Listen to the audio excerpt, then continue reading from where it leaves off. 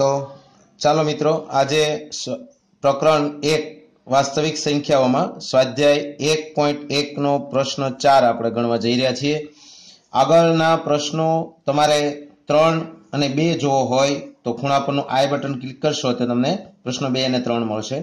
અને આ વિડીયોને હજુ સુધી સબસ્ક્રાઇબ ના કર્યો હોય તો સૌથી પહેલાં સબસ્ક્રાઇબ કરી લેશો મિત્રો. જોઈએ ચોથો પ્રશ્ન. યુક્લિડના ભાગાકારના પૂર્વ પ્રમેયનો ઉપયોગ કરી દર્શાવો કે કોઈ પણ ધન પૂર્ણાંકનો વર્ગ, કોઈ પણ પૂર્ણાંક એમ માટે ત્રણ એમ અથવા ત્રણ એમ પ્લસ વન સ્વરૂપ છે. તો યુક્લિડનું ભાગાકારનું પૂર્વ પ્રમેય મિત્રો આપણે આગળના વિડીયોમાં જોઈ ગયા કે એ બરાબર બી ક્યુ પ્લસ આર. તો એમાં શું કીધું? એમનો વર્ગ કરતા જે સંખ્યા છે એનો વર્ગ કરીએ તો તે કોઈ સંખ્યા એમ માટે ત્રણ એમ અને ત્રણ એમ પ્લસ વન સ્વરૂપમાં હોય એવું આપણે સાબિત કરવાનું છે, તો લાવવાનું છે. તો સૌથી પહેલા આપણે શું કરીએ સંખ્યાને ધારી લઈએ. ધારો કે એ કોઈ પણ ધન પૂર્ણાંક છે. બરોબર? અને અહીંયા તમે જુઓ તો જે ભાજક છે એની જગ્યાએ કેટલા લીધા છે? ત્રણ છે મિત્રો. તો હવે આપણે એ કોઈ ધન પૂર્ણાંક સંખ્યા છે. તો એના માટે યુક્લિડનો જે ભાગાકારનું પ્રમેય છે એ શું છે મિત્રો? યુક્લિડના ભાગાકારના પૂર્વ પ્રમેય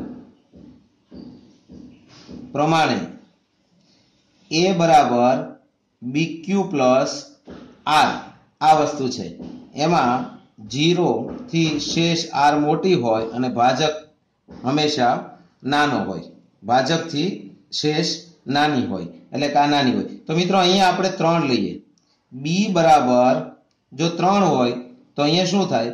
Zero less than or equal to R less than ત્રણ. એટલો મતલબ એમ છો કે ત્રણ કરતાં શેષ નાની જ હોય, એટલે આર બરાબર જીરો એક અને બે. બરોબર?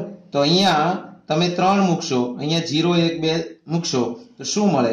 એ આપણે લખીએ અહીંયા. તો આ પૂર્વ પ્રમેય અનુસાર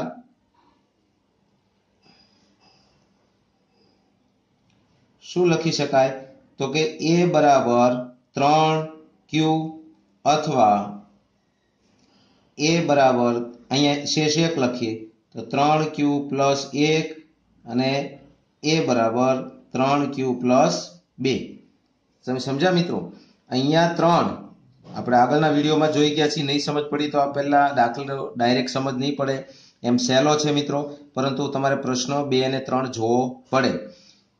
ત્રણ વડે ભાગીએ તો ભાગફળ ક્યુ આવે. કોઈ સંખ્યા એ છે તો શેષ કેટલી આવે? ત્રણ કરતા હંમેશા નાની એટલે જીરો એક બે. તો અહીંયા મેં ત્રણ લખ્યા, અહીંયા જીરો એટલે ત્રણ ક્યુ લખ્યા. પછી અહીંયા એક લખ્યા ત્રણ ક્યુ પ્લસ વન અહીંયા એ બરાબર ત્રણ ક્યુ પ્લસ ટુ તો આ ત્રણ સંખ્યા. પરંતુ આપણને શું કીધું છે? આ ધન પૂર્ણાંક સંખ્યાઓ મળે, એનો વર્ગ કરીએ તો આ સંખ્યાઓ મળે. તો હવે આપણે જોઈએ કે એમનો વર્ગ છે. બરોબર? તો આ પૂર્વ પ્રમાણે આ કોઈ સંખ્યા આપણને મળે છે. કે એમાં આપણે જ્યાં ક્યુ કોઈ સંખ્યા લીધી છે, એ ક્યુ કોણ છે? તો કે કોઈ પૂર્ણાંક સંખ્યા છે. કારણ કે આપણે ભાગફળ ખબર નથી આપણે કોણ છે. એ સંખ્યા પણ જાણતા નથી, ક્યુ પણ જાણતા નથી. ત્રણ વડે ભાંગ્યા, એ મને ખબર છે. તો મતલબ કે શેષ એટલી ખબર છે કે ત્રણ હોય તો બે અને જીરો ને એક, ત્રણ ત્રણ જ સંખ્યા આવશે. હવે એમાં જે પહેલી સંખ્યા છે, આપણે એનો દરેકનો વર્ગ કરતા. દરેકનો વર્ગ લેતા. તો પહેલી સંખ્યા છે આપણી પાસે કોણ છે? એ બરાબર ત્રણ ક્યુ. તો એ બરાબર ત્રણ ક્યુ છે, એનો વર્ગ લઈએ તો અહીંયા એનો વર્ગ બરાબર ત્રણ ક્યુનો વર્ગ થાય. તો એ નો વર્ગ બરાબર ત્રણ નો વર્ગ એટલે શું થાય મિત્રો? ત્રણ તેરી નવ. નવ ક્યુ વર્ગ થાય. પરંતુ આમાંથી ત્રણ કોમન લઈ લઈએ. ત્રણ કોમન લઈ લઈએ તો શું થાય? ત્રણ તેરી નવ અને ક્યુ સ્ક્વેર. ત્રણ કોમન. તો આપણે અહીંયા આમની જગ્યાએ એમ ધારી લઈએ. શું લઈ લઈએ? એમ લઈ લઈએ થોડી વાર માટે. બરોબર? તો અહીંયા આપણે શું મળશે એ આપણે લખીએ કે એ સ્ક્વેર બરાબર ત્રણ અહીંયા આનો જગ્યાએ એમ લઈ લઈ. ત્રણ એમ એ સ્ક્વેર બરાબર ત્રણ એમ અહીં શું લખશું?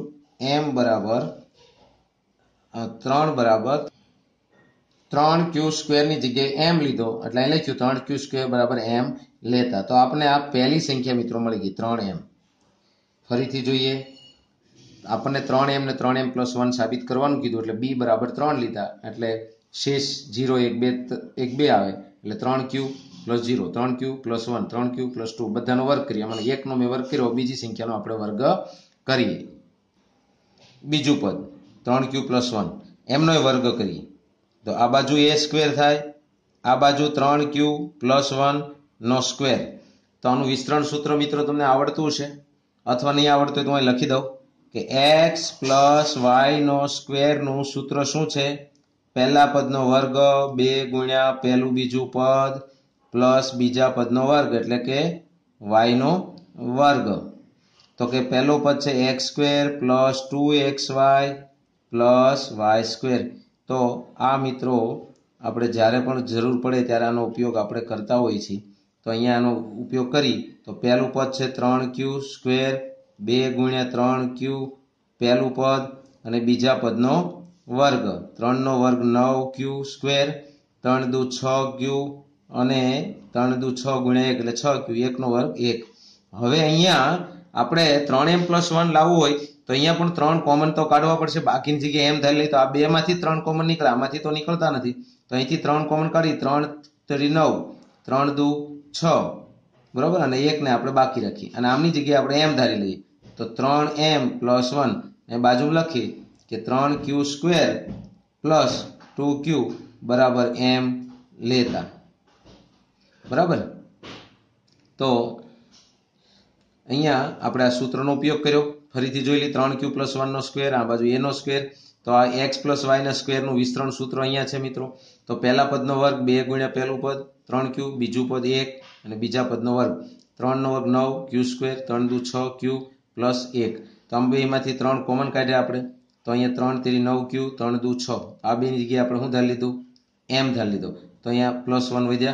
તો આપણા બીજું જે સ્ટેપ છે એ આપણને મળ્યું. પરંતુ આપણે હજી ત્રણ પદ છે એમાંનું ત્રીજું નહીં લઈ જોઈએ એ બીજું જવાબ તો આવતો નથી ને, તો ત્રીજું સ્ટેપ છે એ બરાબર ત્રણ ક્યુ પ્લસ ટુ. બરાબર? તો આને આપણે જોઈએ. એમનો પણ વર્ગ કરીએ બંને બાજુ. તો કે એ બરાબર ત્રણ ક્યુ પ્લસ ટુ નો સ્ક્વેર. હવે મિત્રો, તમને સમજ પડી ગઈ છે વર્ગ કેમ કરાય? ડાયરેક્ટ લખું છું, ખ્યાલ આવવું જોઈએ. પહેલા પદનો વર્ગ, ત્રણ ક્યુનો વર્ગ એટલે શું થાય? નવ ક્યુ સ્ક્વેર બે ગુણ્યા પહેલું બીજું પદ. બે ગુણ્યા પહેલું બીજું પદ. એટલે આ બંનેને બે ગુણવાના, એટલે ટુ એક્સ વાય આવે. તો આ બેને ગુણો, એટલે છ ક્યુ એને ગુણ્યા બે એટલે કેટલા થાય?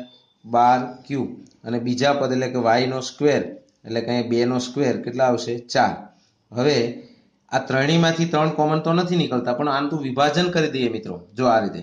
નવ ક્યુ સ્ક્વેર બાર ક્યુ બેમાંથી તો ત્રણ કોમન નીકળે એવું દેખાય છે. તો અહીંયા ચાર છે ને આમ લખી શકાય? ત્રણ પ્લસ એક. તો પહેલા ત્રણેય પદમાંથી શું કોમન લઈ લઈએ? ત્રણ. તો ત્રણ ક્યુ સ્ક્વેર ત્રણ ચોક બાર અને ત્રણ એકા ત્રણ ને એક તો હતા જ. બરોબર? તો આની જગ્યાએ આપણે એમ ધારી લઈએ. તો ત્રણ એમ અને છેલ્લે વધ્યા એક. બાજુમાં લખીએ કે ત્રણ Q square four Q plus one બરાબર એમ લેતા. બરાબર? તો અહીંયા પણ મિત્રો આપણને એ સ્ક્વેર બરાબર ત્રણ એમ. તો અહીંયા ત્રણ એમ પ્લસ વન ત્રણ એમ પ્લસ વન અને ત્રણ એમ. તો આપણે જે બે જ સંખ્યા મળે, ગમે તે સંખ્યા હોય, પણ વર્ગ કરતા આ બે જ સંખ્યા આપણને મળે છે. એટલે કોઈ પણ ધન પૂર્ણાંક માટે આ જ શક્ય પોઝિશન શક્ય છે એવું આપણે લખી શકીએ. એટલે પૂર્ણાંક માટે આપણે લખી શકીએ કે કોઈક પૂર્ણાંક એમ માટે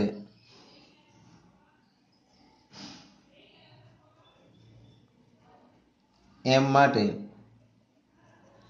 ત્રણ એમ